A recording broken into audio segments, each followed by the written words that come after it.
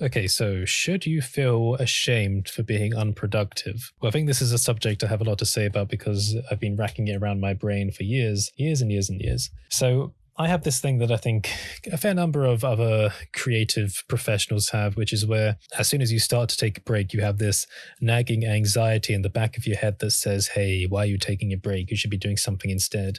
No progress is being made while you're enjoying playing this video game. What are you doing? And I'll tell you what, it's very freaking annoying. the thing is, I think this sensation is useful to a certain degree. I think it's useful because having that anxiety of knowing that you should be doing something productive does help you keep on your toes. It keeps you always kind of questioning how long it's been since you last did something, whether you're actually making progress and stuff like that. I think having that kind of smoldering just under the surface is quite handy because it keeps you in tune with the fact that, yes, you can be doing stuff that will ultimately help you in your life in some way, help you develop skills, help you get closer to your goals, your dreams, etc. On the other hand, I think if you let it affect you too much, it can be quite detrimental towards your mental health. And I think I've had that happen to me in the past to a certain degree. You know, if you're too hard on yourself, if, you're pushing yourself too far, you end up missing out on all the things that give you a really important amount of emotional stimulation, stuff like video games, music, films, uh, casually just talking to people that you like, you know, enjoying the company of all these different aspects that I think are very important for humanity, the, the cultural side of life, if you want to call it that. If you're strictly focused in on being productive,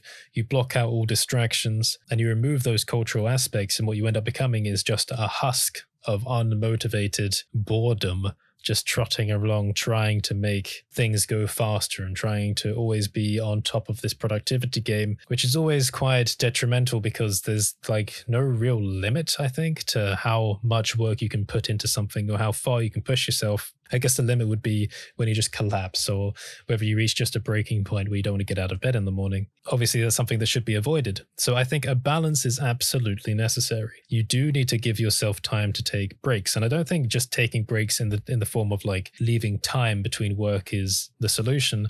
I think it's more the fact that in those breaks, you're doing something that's going to inject more inspiration into your mind, that's going to give you emotional stimulation, that's going to pull you into different areas of thought than you have been when you've been working, exploring different worlds. This is one of the reasons I love exploration games in particular, because I feel like they do this very well. If they're immersive, they help you to completely detach your mind from this space where you've been hyper productive and just an unmotivated husk, and they transport you somewhere where you can feel inspired and just and bring in all this new imaginative stimulation, you know? So I feel like there's definite emotional and kind of, um, what's the word I'm looking for? Mental stability benefits in doing that. Then there is also the side of it where I feel like investing some time into enjoying these things can also help you be more productive more intelligent, more creative in the long term. And I feel like that's something that people actually maybe neglect. And I believe I've done a video about this as well called a productive procrastination or, or the benefits of procrastination, which is essentially where as you keep transitioning your mind between these different states of being in your productive work environment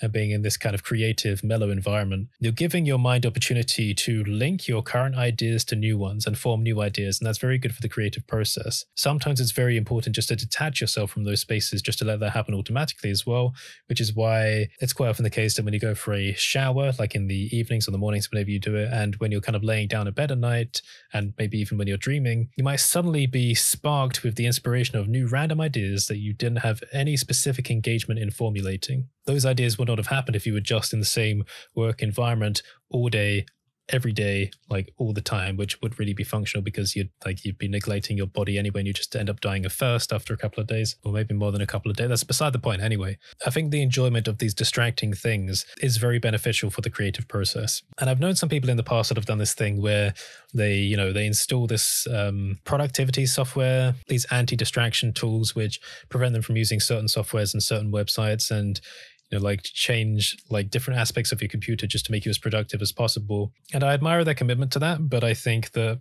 when you give yourself very harsh boundaries for when you can and can't enjoy things like that, you're again disallowing this creative potential from entering your space. One of my favorite sayings that we'll put in here is you don't know what you don't know, which means that you have no idea what things you haven't discovered yet, and you can't predict them because you have no idea they exist. In the same way that you have no idea what's happening in someone's life, like a few roads away, because you don't know who they are, you don't know like what their lifestyle is, but they're there. You, there's no like psychic sense to tell what's going on. You don't know what you don't know. The same concept applies for creative ideas and sparks of inspiration. You have no idea what really cool creative ideas you might come up with if you actually just sat down and played a video game for five minutes. You might randomly just get something that goes boop right in your mind, something like a really cool new project idea. If we're talking about Blender, it might be an add-on or some kind of new tool or art piece that's just like suddenly really amazing. You go, oh my god, yeah, let's just do that, and all of a sudden it might make you thousands of dollars. Now it might sound wacky, but that's pretty much how most of my ideas have come along because I spend a lot of time playing video games. I mean, it really depends what video game you're playing because some of them really make you engage with doing task completion. So, like, you'll be focusing on the game a lot. Some of them are much more automatic and you're kind of doing them on autopilot. And we could raise the question of okay, well, what type of engagement with a video game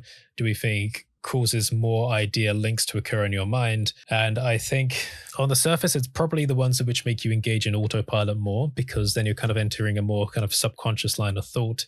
But it depends if you have any other distractions going like music or if you're watching any videos like on the side of playing the game which might take your thought away. And i do that quite a lot. However i think that if we're talking about ideas which are made from new sources of inspiration coming in then i believe video games which are more engaging rather than forcing you to play on autopilot would come more in handy. So, for example, if you're playing a video game where you're entering somewhere you've never seen before, it's a story you don't know, you're much more likely to be inspired to try something new because you're seeing something that's giving you like a whole source of new ideas. For example, I just finally watched Dune the other day, the new film from Denis Villeneuve, and it's absolutely fantastic. Love it. Oh my God, cinematography is fantastic. And I said to some of my friends, Timothée Chalamet was made for those outfits. Then having brand new, really impressive stuff like that coming into your conscious and subconscious is fantastic for giving you new ideas for things to make. I guess we would call that active inspiration. You know exactly what it is, you know it's going in, and you know you're using it to formulate new ideas. Active idea creation is, I guess, what we would call that. And the autopilot alternative we would call passive idea creation, just stuff that pops into your head without you necessarily kind of engaging with the full process of it. For things like having ideas while you're dreaming, I guess that's a combination of both. You're active because you're there and taking part in it, and it's passive because it's like a kind of subconscious injection, which is a weird thing to think about. But anyway, let's roll it back a bit. So, should you feel ashamed for being unproductive? It depends. Because if you're keeping it balanced, you know that you're doing productive work, even if you're spending most of your time being unproductive. I'm just, I'm basically just talking about myself here. I work in very short bursts of like extreme productivity, and then I spend a long time playing video games. And I'm basically trying to justify the fact that no, I should not feel ashamed about it because I'm actually getting a lot of stuff done. So from my experience, I would say the same to other people. If you know that your content output, or it doesn't even have to be like a content output, if your learning output, if you're in the process of learning, is good from like the abstract perspective over the long term, even if despite on the shorter term you're spending most of your time being unproductive, then I think you should not be ashamed because you have been making progress from that perspective, if that makes sense. You can justify it to yourself as well by knowing that even when you are being unproductive, you're still being productive by generating ideas, if that works for you. I mean, it doesn't work for everyone people get distracted to different degrees.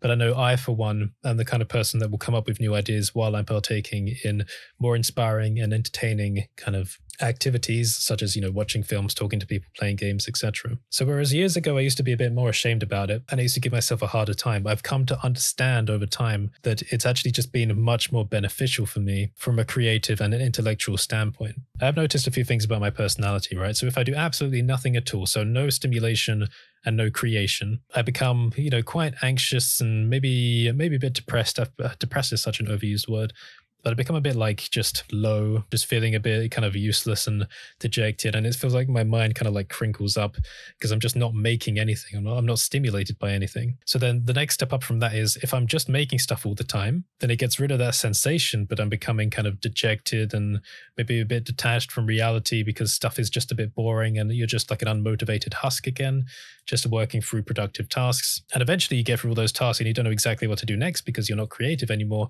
because you haven't been inspired inspired. So we come up to the third step, which is if I'm keeping myself productive doing all those tasks and I'm keeping myself inspired by taking part in all of this entertainment, then I am maximally happy, I suppose, because I'm constantly generating new ideas. There's constantly new things I want to try, and I'm also keeping up with a work output. And if those two things I can see are true, then I have no worries whatsoever. And I feel like that's going on in my life right now. I feel like I'm quite productive with my output. And there are lots of things I'm enjoying taking part in, lots of films I've been watching.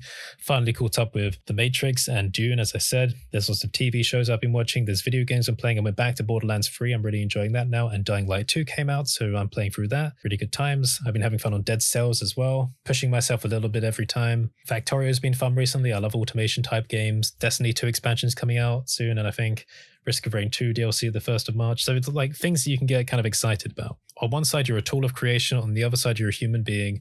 And we need to make sure that both of these are kept in balance. So, no, you should not feel ashamed for being unproductive. You are, after all, a human being. You need to look after your happiness. But I think it's important to keep in mind a longer term sense of balance. Balance does not necessarily mean completely splitting your time down into halves, where you're working for half the time, playing for half or less of the time, because that's not what I do. I am unproductive for the majority of my time the vast majority. Because even while I'm distracted with all of these other things, I'm still generating ideas, mixing around priorities in my mind of things I want to do. Let's do that video first. Let's do this website change next. Let's do a product thing here. So while I'm doing all these other things, I'm constantly moving this stuff around. And this is also represented by my organizational software I use. I use ClickUp specifically at the moment, but I really like this one because it has a priority list where I can keep moving tasks around. So occasionally, if I'm doing something completely different, I'll randomly flick back over to ClickUp, move tasks around, and then go back to what else I was doing. So I know that when I do finally feel like being productive, I can see that those priorities have changed. So I've still been working even while I haven't been working, if that makes sense. I feel like this video has been very rambly. I've already spoken quite quickly as well, but I got it out of my system. So cheers to that. So yeah, don't feel ashamed for being unproductive. I guess within reason, all things within reason. That's rule one. So yeah, I think there's not much else I can add to that. Um, have a great day. Stay unproductively productive if you want to, and I'll see you next time.